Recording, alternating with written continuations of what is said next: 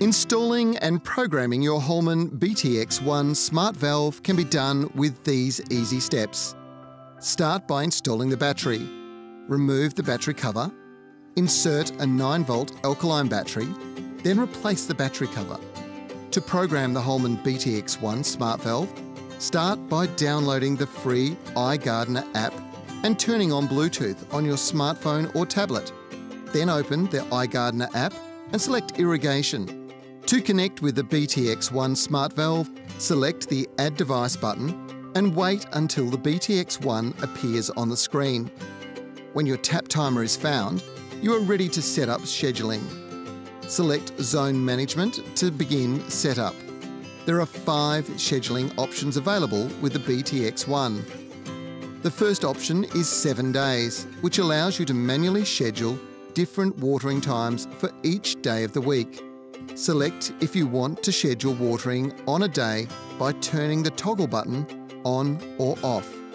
Then set your start time and run time. You can schedule three start times with all scheduling options other than the cycle option. You can set your watering to turn on every few days with interval days scheduling. Select the interval for your watering your start time and run time to schedule watering. You can set your watering to turn on odd day with odd days scheduling. Toggle the odd 31 button to skip the 31st of the month. Select your start time and run time to schedule watering.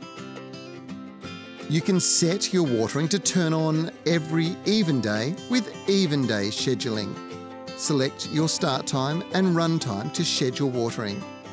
You can set your watering to turn on periodically throughout the day with cycle scheduling. This is ideal for green wall gardens and greenhouses where watering is required in small amounts but frequently. Select if you want to schedule watering on a day by turning the toggle button on or off. Then set your start time and stop time, run time and delay time which is the time between each watering cycle. When you've set the watering schedule via the app, you will need to save the schedule and update the tap timer to reflect the schedule settings.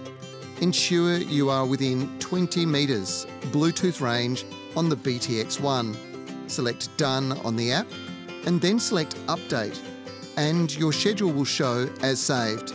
For more information on the BTX1 Smart Valve, visit our website at holmanindustries.com.au.